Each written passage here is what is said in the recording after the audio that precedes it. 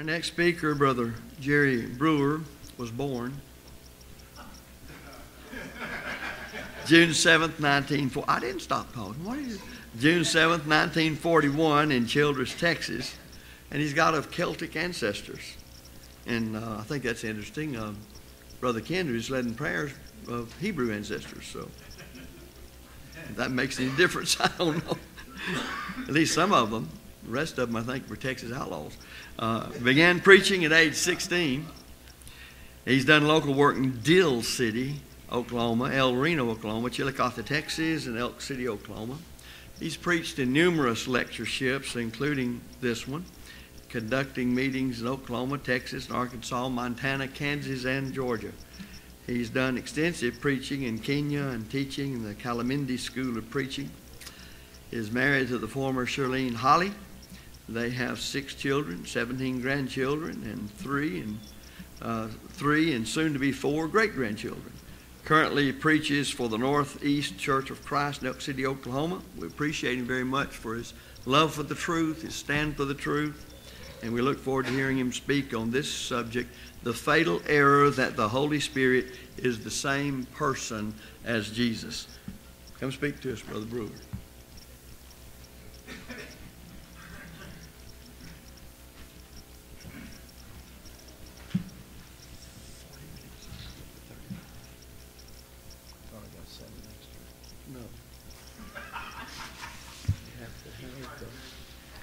He's, cranky. If he keeps on, I'm going to cut him what he's got. Go ahead, I'm to Go ahead. Speak, and I'll start you. Okay.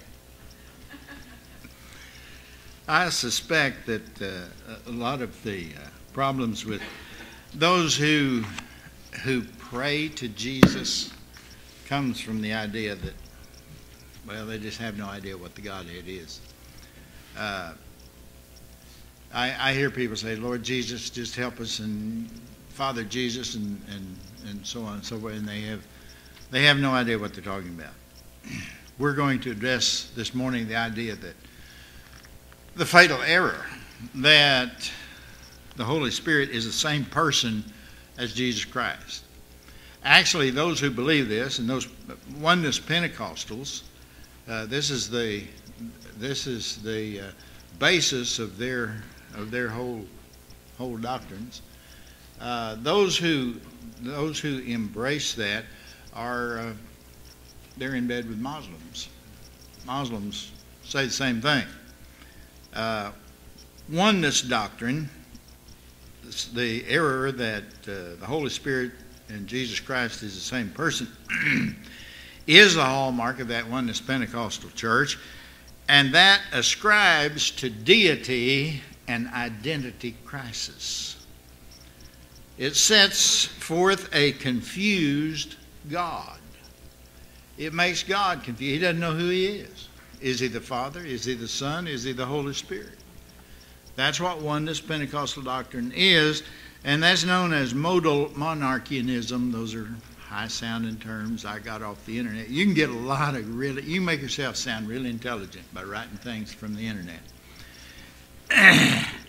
or uh, uh, what is known as uh, Sabellianism, named for a man named Sabellius, who became the leader of those who believed that doctrine in the second century. See, so there's nothing new.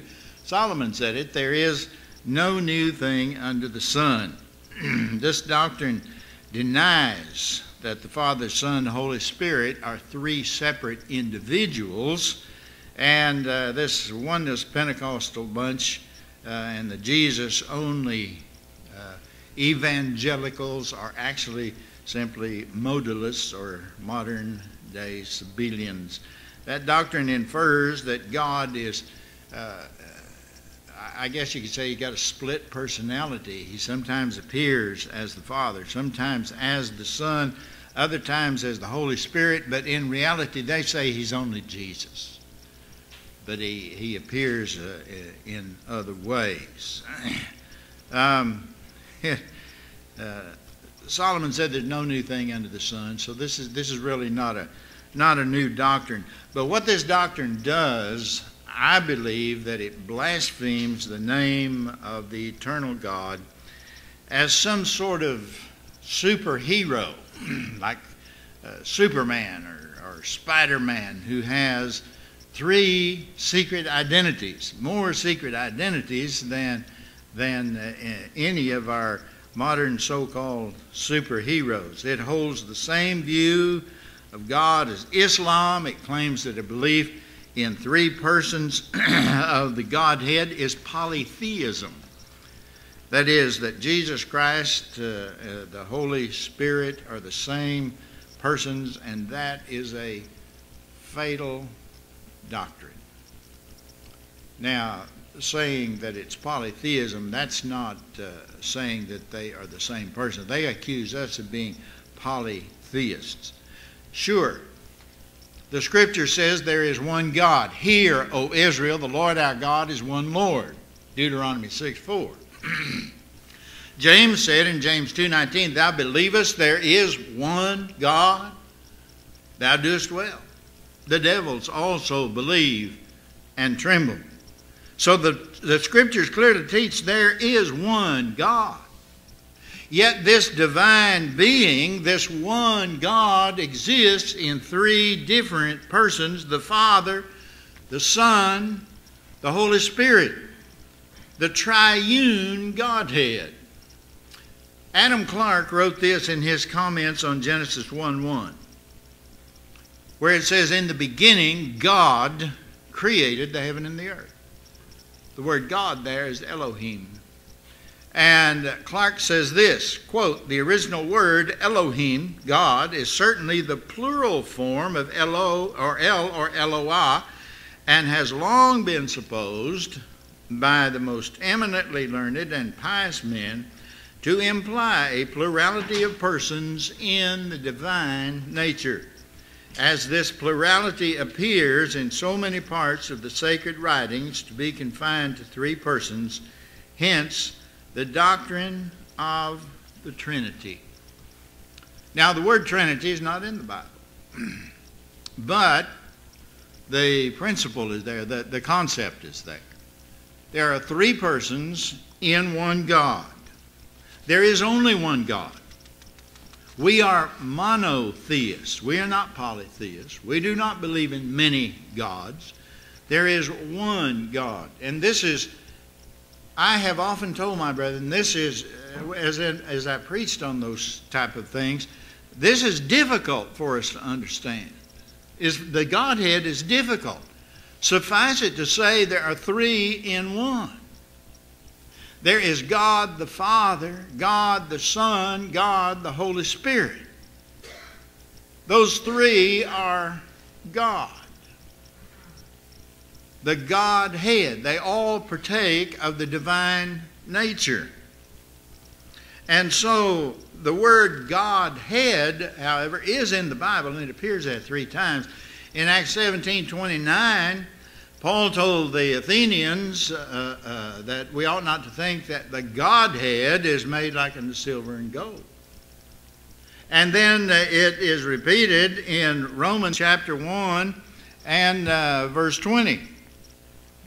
In Romans 1:20 he says, the Godhead, or speaking of the Godhead, he says, that uh, uh, the invisible things of man or of him are seen from the creation of the world, uh, being understood by the things that are made, even his eternal power and Godhead.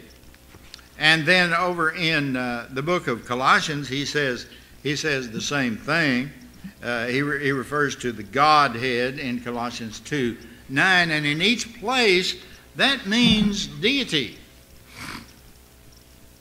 Each of these three divine persons composing the Godhead, the Father, the Son, the Holy Spirit, possess the divine nature.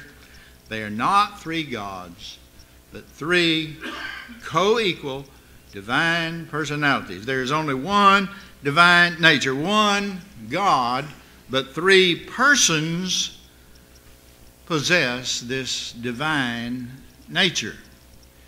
Jesus Christ and the Holy Spirit are not the same person. Jesus Christ and the Holy Spirit are God, not gods, but God, but they're not the same person.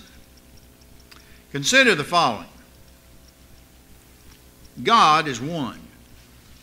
Only one divine essence exists. And then the name for that divine essence or nature is God. Only one exists. For a person to assert that one divine essence exists is equal to saying only one God exists. And that's what we say. And that's what the Bible teaches. There is only one God. There are not two or three or three hundred divine natures. There's not, there's not more than one God. There is one. And yet, God is three. The oneness of the divine substance correctly describes God as it pertains to the divine nature the divine essence, but in another sense, God exists as three persons. Three, as it pertains to the three persons who share this one divine substance. Thus, there exists no logical contradiction to say that there is one God, but this God exists in three to say that God is one and God is three. He exists as one in one sense and as three in another sense. The three persons are, of course, the Father, the Son, and the Holy Spirit. And those three are God. That's God. That's one God. The Old Testament conveys this idea. In fact, that's what, uh, uh, that's what Adam Clarke was talking about a few moments ago, we looked at.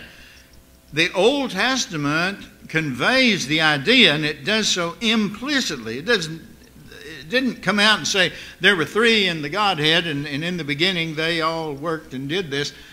But they, it is implied there by the plural Elohim, which indicates more than one, not more than one divine essence, but more than one person partaking of the divine essence. God spoke in the beginning. God spoke the worlds into existence. The Word, Jesus Christ. In the beginning was the Word, and the Word was with God, and the Word was God. That's what John 1 1 says. In the beginning was the Word. Now, later on in the book of, uh, in 1 John, it says, The Word became flesh and dwelt among us. And we beheld his glory as of the only begotten of the Father, full of grace and truth. That's talking about Jesus Christ. The Word is Christ. In the beginning was the Word. God spoke. He upholds all things by the power of his work, uh, by the power of his word, and we are told that Christ uh, uh, was the uh, Christ made all by him was all, were all things made that was made. Without him was not anything made. So you have the Word, Christ, the Father, the great architect speaking, the Word, Christ, active in the creation, and in the beginning, God created the heaven and the earth. And the earth was without form and void, and darkness was upon the face of the deep, and the Spirit of God, the Holy Spirit, moved upon the face of the waters. Now, later on, uh, I don't think I included it in the book, but later on in his commentary, uh, uh, Adam Clarke had another uh, very interesting comment about the Holy Spirit, about the word moved. It said it was as though a a hen brooding over her, her nest to bring forth life. That's what the Holy Spirit did. The Holy Spirit infused life. The Holy Spirit gave life. The Holy Spirit put life in the seed, and that law of biogenesis that God set forth in the beginning, that everything brings forth after its own kind, He said, Let there be let everything have seed in itself and bring forth after its own kind. And the Holy Spirit put that power in there. Just like He put power in the Word of God, which is the seed of the kingdom, which brings forth after its kind. You cannot preach the Word of God and have it produce a member of a denomination. It won't do it. The Word of God, unadorned with any of the ideas and thoughts and, and uh, comments and tricks of men, the Word of God pure in its simplicity. It's too simplistic, I guess. But in its simplicity, the Word of God will bring forth a Christian because that's the way the Holy Spirit intended. That's the life He put in it. That's the life He put in it. The Godhead can be illustrated this way God is one, singular. The Father, Son, Holy Spirit are plural. They're three, but there aren't three gods, they're three persons. One God in three persons, and each of these persons fully partakes of the divine essence, the divine being.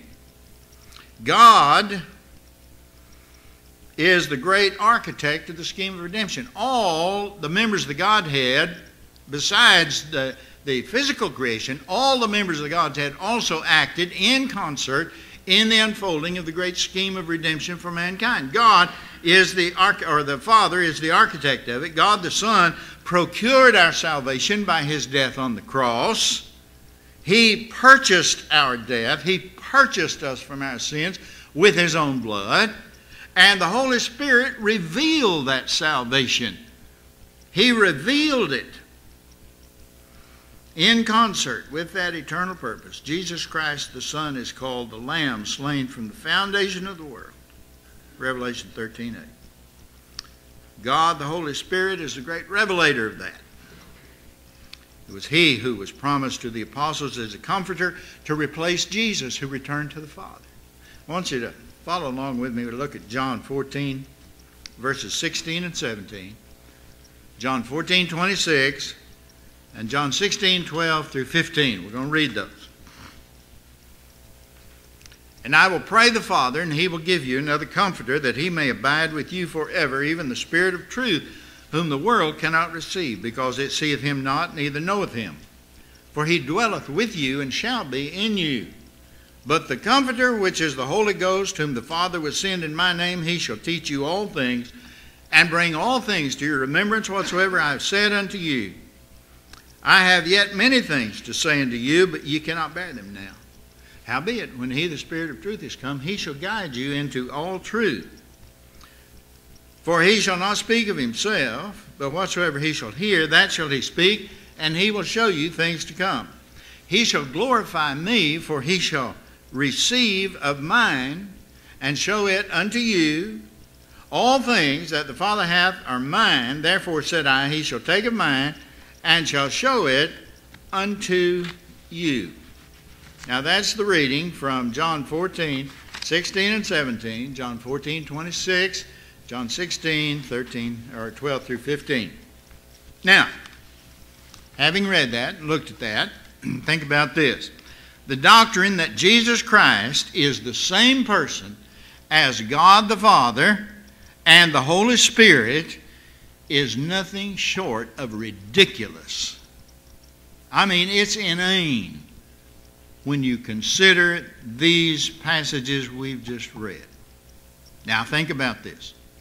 If the oneness doctrine is true, if Jesus is the same person as the Father and as the Holy Spirit, then here's how that, that, that this, these passages would read that we just finished.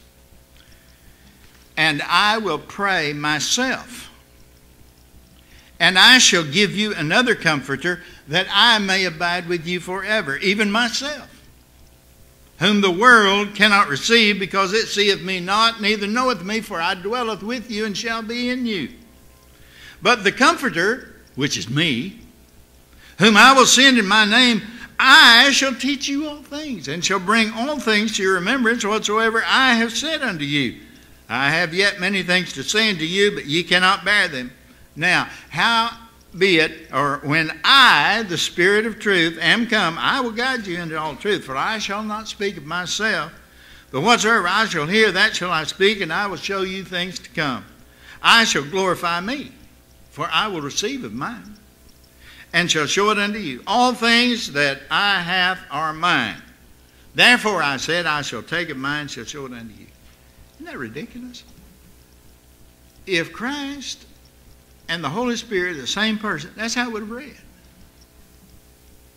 I'll pray myself. I'll tell myself this. I'll talk to myself. I'll go around muttering to myself. They, oneness Pentecostalism makes God a blathering idiot. Reduces the Son of God to a babbling idiot who talks to himself, who prays to himself, who uh, assumes different personas and is confused about his own identity. What was that movie? The Three Faces of Eve or something many years ago? This woman had some kind of personality problems, thought she was different people or something. That's exactly what that's exactly what oneness Pentecostalism does with the Godhead and with our blessed Savior Jesus Christ. Makes the Godhead some kind of uh, some kind of uh, entity with an identity crisis. Our knowledge of the three persons in the Godhead, as it is revealed in the Bible, is a matter actually of progressive revelation. Now, when we use that term, we mean that God didn't reveal himself as three persons in the beginning of his revelation, but he did it progressively over a period of time uh, so, that, uh, so that it could be fully understood. For example, the doctrine of the Trinity, as we noted from Genesis 1, is implicitly taught in the Old Testament. It is not explicitly made known, however, in the Scriptures until we come to the New Testament. But the doctrine in the New Testament burst forth in full bloom. Now, I wonder why God chose to do it that way. Well, I don't know. But once we come to the New Testament and see how God exists in three persons, we can look back into the Old Testament and see the indication there that, yes, there was a plurality in the Godhead. There is. This knowledge of the Trinity from the Old Testament, though, is made clear only in the light of the New, which goes along with what we've always said. The Old Testament is the New Testament concealed, the New Testament is the Old Testament revealed. It's the same thing. Progressive revelation. Now, I want us to look at uh, some scriptures here. Uh, that, uh, for instance, this one illustrating the, uh, the triune God. That was done at, that, that was illustrated at the baptism of Jesus. And here's another one of those things that's just really too simplistic for holy roller uh, uh, apologists. Three persons are vividly, three persons in the Godhead, vividly illustrated the baptism of Jesus. Matthew 3 16 17. Very simple. And when Je- and Jesus, when he was baptized, went up straightway out of the water, and lo, the heavens were opened unto him, and he saw the Spirit of God descending like a dove and lighting upon him, and lo, a voice from heaven, saying, came from heaven, saying, this is my beloved Son, in whom I'm well pleased. Now, you see that picture that Matthew paints there? And Jesus, when he was baptized, went up straightway out of the water. Who? Jesus Christ. Where was he? He was in the water. He's baptized in the River Jordan. He comes up says he come up straightway. Straightway, immediately. When he came up, what? The heavens were open. Well, what happened then? Well, the Spirit, like a dove, descended upon him. Who? Upon Jesus. Who did? The Spirit of God. Descended where? Upon Jesus. And a voice from heaven saying, This is my beloved Son. Now, there you have the three members of the Godhead, the three divine members of the one God. They're there for us to see Christ on earth coming up out of the water. Jesus, the one the Pentecostals say is the Holy Spirit. But not so. The Holy Spirit is descending upon him. He's not descending upon himself. This is Jesus. This is the Holy Spirit descending. Well, where's the Father? He's in heaven. You hear him? This is my beloved Son. This voice from heaven. This voice comes from heaven. Christ on earth, the Holy Spirit between heaven and earth, the Father in heaven. See how simple that is? Of course, that's too simplistic for those who want things to be who want things to be a little difficult. Our knowledge of the three persons in the Godhead is a matter of divine revelation. in other words, we know what we know because God has chosen to reveal that to us. We wouldn't know there were three persons in the Godhead if it wasn't for the Bible. We wouldn't know that. It's not something anyone can learn from studying astronomy.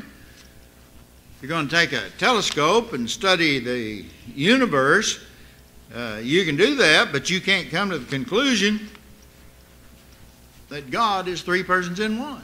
You may gain a lot of knowledge, but you won't gain that knowledge through studying astronomy. No experiments in a, in a science lab, no, no uh, logical argument in the form of a, a syllogism, no mathematical question or uh, anything, equation, or any other way that we can gain natural knowledge will inform us that there are three persons who compose the Godhead. Jesus Christ is not the Father. The Father is not the Holy Spirit. The Holy Spirit is not Jesus Christ. The Father is not Jesus. Jesus is not the Holy Spirit. The Holy Spirit is not the Father. Three divine persons in one God. The fatality of that doctrine,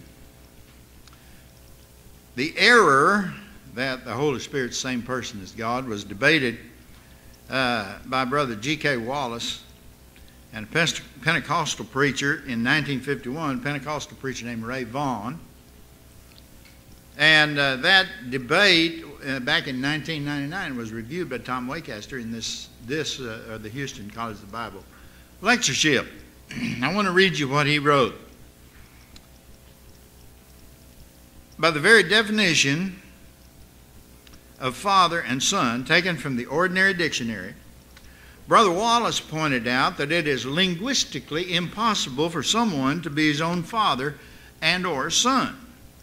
But if the modal concept, that's what we talked about at first, this modal monarchianism, that God reveals himself in three modes rather than being three different persons. If the modal concept of the Godhead is correct, then Jesus was in fact his own son and his own father at the same time. Since that is impossible, then one must conclude that Jesus is not the Son of God. The very foundation of the oneness holiness doctrine on the Godhead lies in this misconception of that oneness. The phrase one God does not necessarily mean that there's only one person, something which Mr. Vaughn and those of his persuasion have missed. Now, if Vaughn's oneness position is true, then the Ethiopian eunuch confessed a lie when he said, I believe that Jesus Christ is the Son of God. If the oneness doctrine is true, what did it mean when, when he said that we must confess him before men? Matthew 10 32. Denying that Jesus Christ is the Son of God, then oneness, holiness, oneness doctrine that error eliminates any confession of the sonship of Jesus Christ. It eliminates the, the, our, our confession that we are to make, that Jesus required us to make. The fatal error that the Holy Spirit is the same person as Jesus denies that Jesus Christ died for our sins. They argue deity forsook the fleshly body of man when Jesus died in Matthew 27 46. And that it was a mere man who died at Golgotha. Notice now, this is from Marion Fox. Marion said, The one who was. Uh, uh, the one who was resurrected was made high priest. Hebrews 5 5 and 6. The high priest sat down at the right hand of the throne of majesty. Hebrews 8 1 and 2. The high priest is called the Son. Hebrews 5 5 through 7. But the Son is called God. Hebrews 1 5 through 7. Hence, it is clear that the one who was resurrected was deity and was still called the Son. Therefore, the argument that the Son was the human spirit in the body of Jesus and the divine spirit left the body earlier is false. Since death is nothing more than a separation of the body and spirit, it follows that when the eternal spirit of the second person of the Godhead left the fleshly body, the body died. John 19, 30 through 33. This is a revival of one of the Gnostic errors. That's what Pentecost, uh, uh, oneness Pentecostalism is. A revival of one of the Gnostic errors that the mere man, Jesus, died, but the eternal spirit did not die. Well, if Jesus was a mere man when he died at Golgotha, and that's what they say, the Gnostics say uh, the same thing.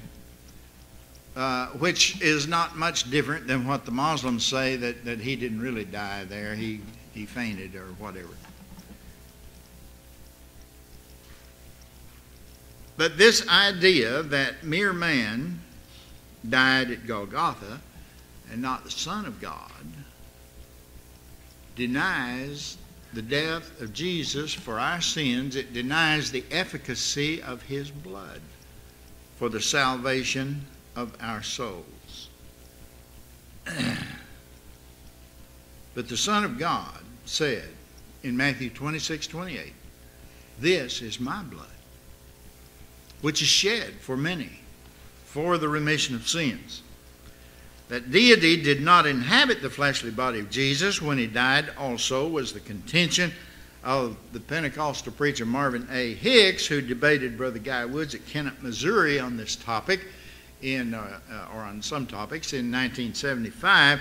They debated the topics of the Godhead, Holy Spirit baptism, and miracles. This debate was also reviewed in the 1999 Houston College of the Bible lectureship. Brother Woods asked him, he asked Hicks, to whom Jesus spoke when he uttered on Calvary, My God, my God, why hast thou forsaken me? If Jesus constituted all the Godhead, then had he forsaken himself? If so, how could this have happened? Well, Hicks replied that it was the flesh speaking to the divine spirit who had departed from the flesh at Calvary. Brother Woods promptly showed that Hicks' doctrine necessitated that only a man, nothing more, died on Execution Hill that day. With that sort of understanding on the Pentecostal part, Jesus did not differ from any other martyr dying for cause. In reality, there's but little difference in what Hicks taught in the debate than what Cerinthus, the heretic, and his infamous followers taught in John's day. That deity came on Jesus at his baptism and vacated him at Calvary. That was what the uh, Gnostics, Cerinthian Gnostics, in John's day taught, and that's what Oneness Pentecostalism teaches. They teach the doctrine of Gnosticism from the first century. Hicks did not advocate, of course, the first prong of that damnable error, but surely did the second prong. Both Cerinthus and Hicks robbed Jesus of all deity when he breathed his final breath on that old rugged cross. That's nothing but slander and blasphemy against the second person of the Godhead no person baptized with the Holy Spirit New Testament times, as per the Scripture record, ever slandered the Savior in such a blasphemous fashion. The Father allowed him to tread the winepress alone, since he was the sin bearer for the race, and the Almighty is of too pure an eye to behold with approval any sin or wickedness. But Jesus was still divine as the Son of God in all of his stay on Calvary. The fatal error that the Holy Spirit is the same person as Jesus Christ eliminates the propitiation through his faith or through faith in his blood to declare the right, his righteousness for the remission of sins that are past. Romans 3 25. The propitiation for our sins. The word propitiation in Romans 3:25 is the same word that is translated mercy seat in Hebrews 9:25. Here is the significance of that, and there is a significance. The significance of that term involves blood, propitiation and mercy seat.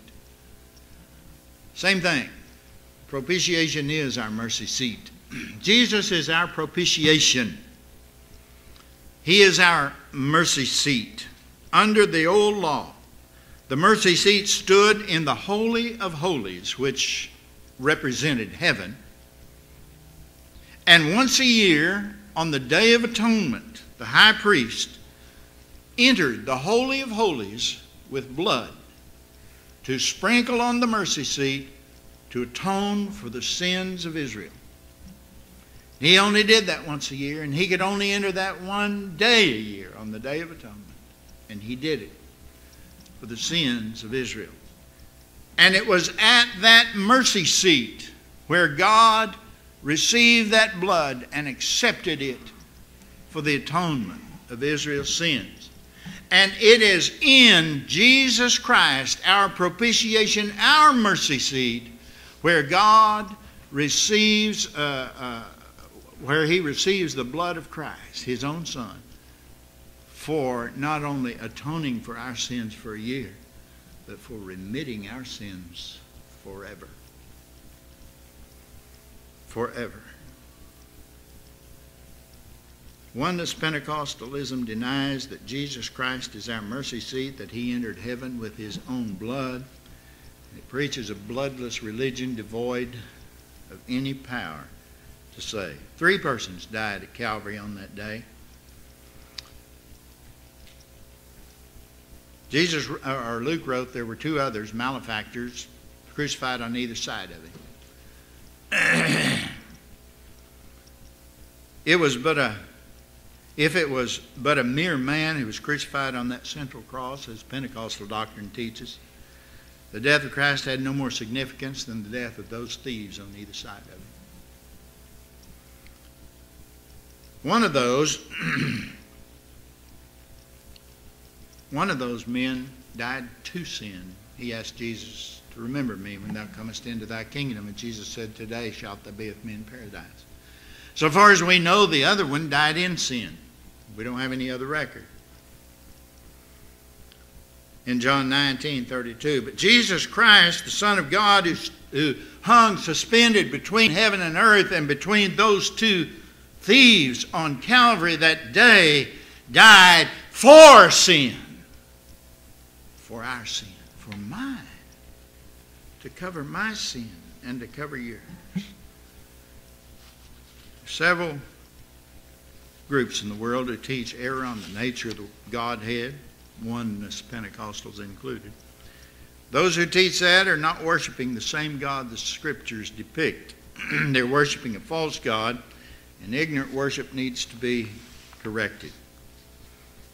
Regardless of who embraces it and teaches the doctrine that the Holy Spirit is the same person as Jesus Christ, it is false doctrine. It is fatal false doctrine, which implies other fatal errors, and any doctrine which implies another false doctrine is itself false. That error will cause eternal loss for anyone who believes and or practices it. Did I give you some time?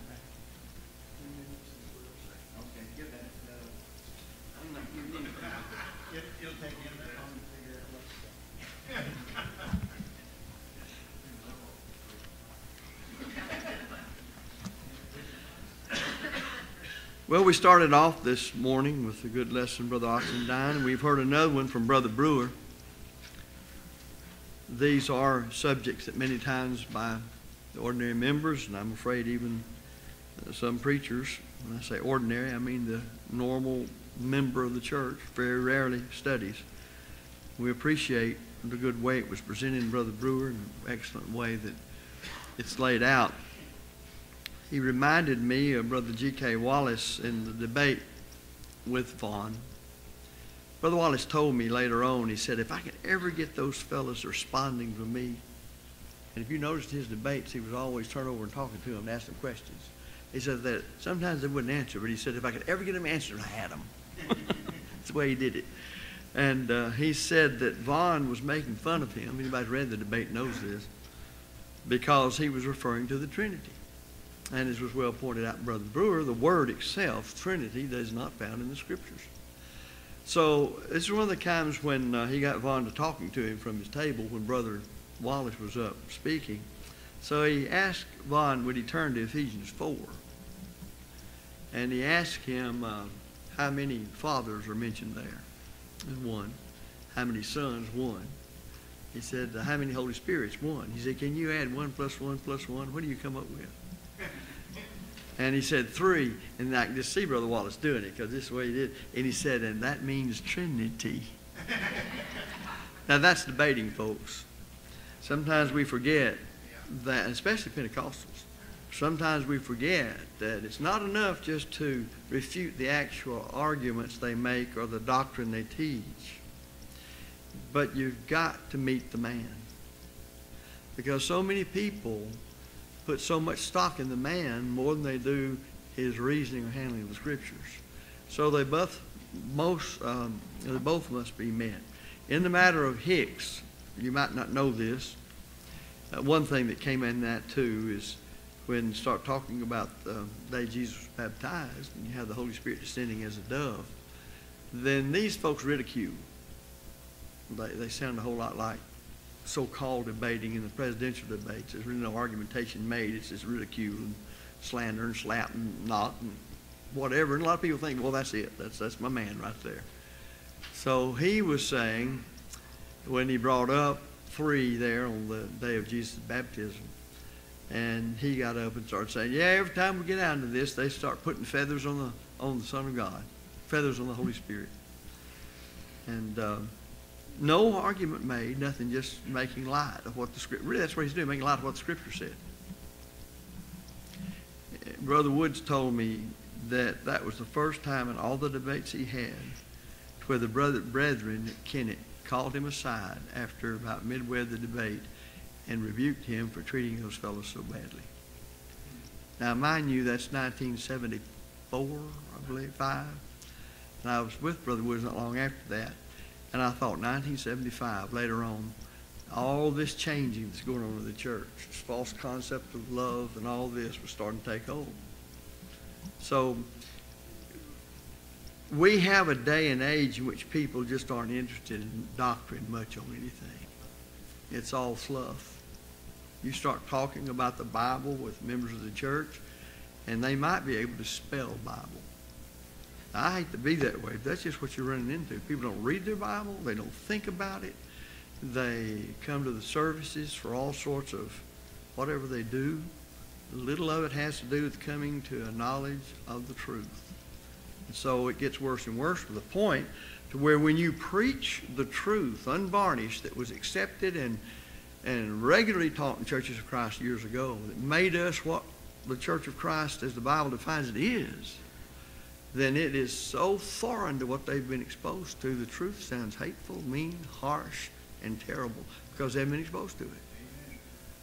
And that's where we are in the church, whether we like it or not. We're with the congregation It's not that way. We better rejoice, try to keep it that way, and to make sure that when we work with people to convert them, that they understand the nature of truth and that you can't deviate from it. Well, we'll stand dismissed for another 10 minutes, be back in here at uh, 11 for the next one. Thank you very much.